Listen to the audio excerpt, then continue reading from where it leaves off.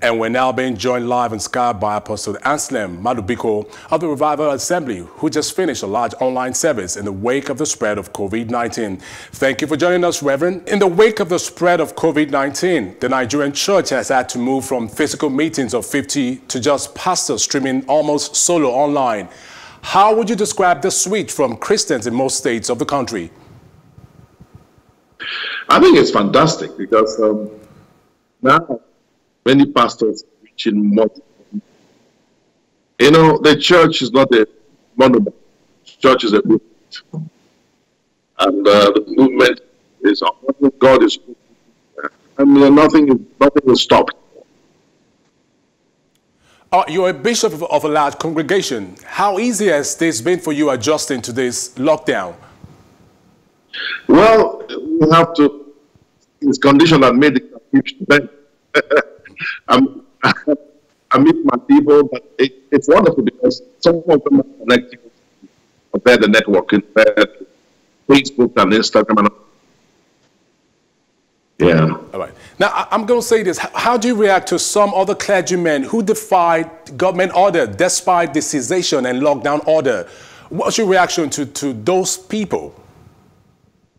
Well, they must have their reasons. Um, I believe we should we should obey the government power according to all the purpose. We should never fight the government. Um, we should be abide law citizens. So I, I don't know what they have, why they think they should obey the law. Now, now Reverend, all is well. Yes. Now, Reverend, in the light of Romans 13, there, there were clear instructions of um, constituted authorities, especially that of government as instituted by God. Now, do you think there could be any, any justification, whatever reason it might have, to have defied government order in the light of Romans 13? No, like I said, there's no reason to. Actually no reason to. We'll probably stop from preaching. We'll, we'll stop from congregating yeah. because of the. Uh, so there's nothing wrong, you know, with that as far as I'm concerned. But because I believe it's going to be us for a while.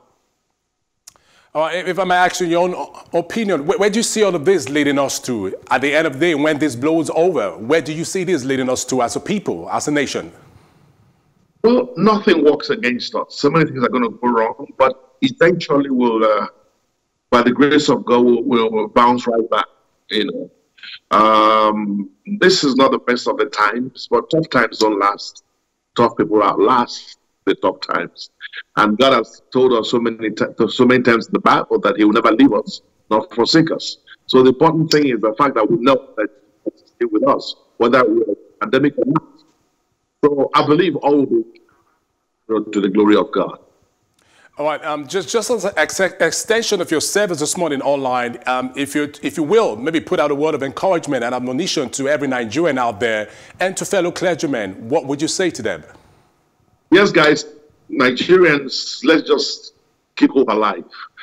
Jesus Christ is Lord, and He has made some powerful promises. He said, Even if you pass through the waters, I'll be with you. If you pass through the fire, I'll be with you. The most important thing is the presence of God in all of this.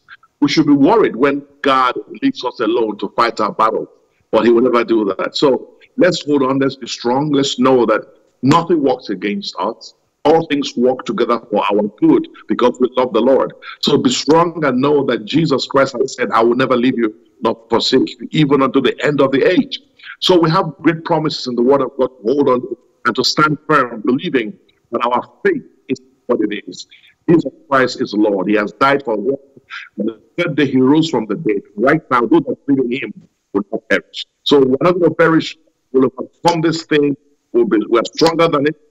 We're stronger than the devil, the antichrist, than anybody coming against the church of Christ, which shall rise much more stronger. And at the end of it all, we'll see a bountiful harvest. We're going to see quite a lot of people now coming to Christ and give their lives to Jesus Christ. So it's, it's either way we win. We win. We win. And then your word, your word to the federal government. What do you expect them to do more in curtailing and the spread of this virus? Help the poor, help those masses who, who don't have anywhere to, to go to, who don't have food to eat. Give them food, give them light, give them the basic amenities, you know, and let, let the soldiers and policemen stop flogging people and stop beating up people. You know, people are just, it's a bad time. Some don't have anywhere, anywhere to go. Some don't even have homes. You know, so uh, let the government be, be sympathetic. Let them know that we're still human beings. Yeah, it's true for us to maintain the social distancing, but it can, we shouldn't kill people because they're not doing that. So, so government should please help people to make accounts and ease something, take money from this.